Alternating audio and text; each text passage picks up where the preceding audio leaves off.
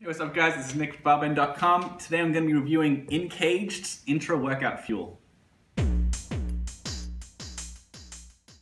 So this product comes from Kaged Muscle and it's made in a GMP certified facility in Idaho. Uh, and Kaged Muscle sells like a wide variety of uh, different workout ingredients. Uh, they have uh, like casein and citrulline and carnitine and a whole lot of other ones. Um, but this here is their intra-workout supplement. They have a pre-workout, but this is going to be taken during the workout itself. What's really unusual about it is that while it is like a BCAA supplement, the BCAA is actually fermented. So we're going to find out what that means. Uh, meanwhile, this is watermelon flavor. So let's see what it tastes like with water.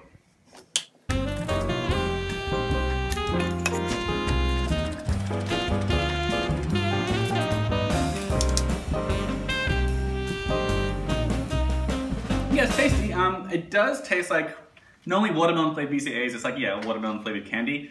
Um, but it definitely also brings to mind uh, the strawberry uh, Starburst candies. Um, so it's like both of those mixed together. It's good. I will say that um, this product recommends that you mix it with uh, two to four cups of water. This is one and a half cups of water, and I will agree that this would probably go down a little bit easier with two to four cups of water. It's a bit strong.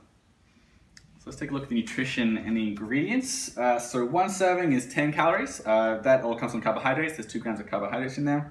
So the uh, BCAAs themselves, you get five grams in a serving, uh, and that's a two to one to one ratio of leucine, isoleucine, and valine. So that's pretty standard in the industry. Sometimes it's three to one to one. Um, and as I said earlier, they are fermented BCAAs. Uh, and so according to In-Kaged, the reason they do that is uh, for improved dissolution uh, and also because it reduces the amount of uh, small peptides, which some people worry may elicit an immune response. Um, so that's why they decided to focus on fermented BCAAs. Uh, they've also got fermented citrulline in this, three grams, uh, which may improve endurance. Um, after that, you've got a beta-alanine, which may also improve endurance. Uh, you get 1.6 grams of that. You get half a gram of coconut water powder, that's just for some extra electrolytes. Um, and then you've got taurine. Uh, so you get one gram of taurine. So that may improve, uh, may improve endurance, but the reason most people include uh, taurines in, in blends like this is that it helps to sort of attenuate the jitteriness that you get from caffeine. And there's about as much caffeine in this as you'll find in one and a half cups of coffee. Uh, so 124 milligrams of caffeine. Uh, it's made from green coffee beans. And then finally, you've got tyrosine. So that is an amino acid that may improve focus uh, during a workout. After that, uh, you've just got the other ingredients. So there's citric acid that uh, helps to have that kind of sour taste. Uh, natural flavors, beetroot extract, that's where the color comes from. Sea salt, silicon dioxide, stevia, this natural sweetener, sucralose, an artificial sweetener, uh, calcium silicate for mixability, and sunflower lecithin, that's to help mixability as well. Um, so the uh, one thing to point out is that there is there's no soy in this, which they're very proud of, um, and there's no artificial flavors or colors. That said, there is an artificial sweetener in there. So as far as the price goes, this tub here has 20 servings in it, and you can pick this up for $26. So it's about $1.30 per serving, or like roughly 26 cents per gram of BCAA.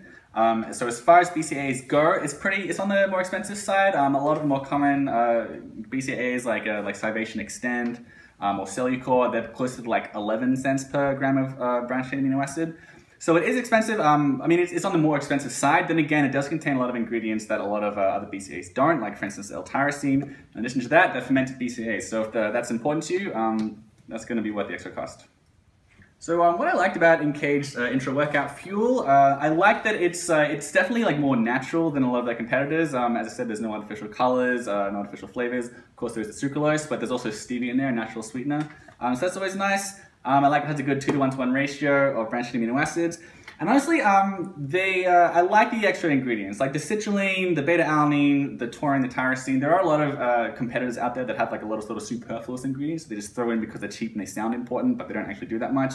Um, I gotta say, In-Kaged appears to have done a decent amount of research. There's a good amount of research supporting uh, some of the claims that these may improve your workout. So that was nice to see.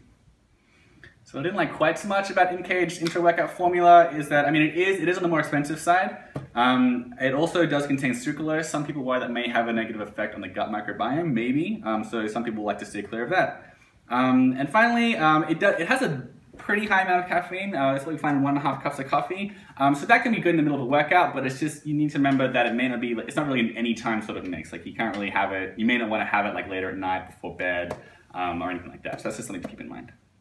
Right, those are my thoughts on Kaged Muscles In-Kaged Intra Workout Formula. For the full review, you can check out the link below at barbend.com.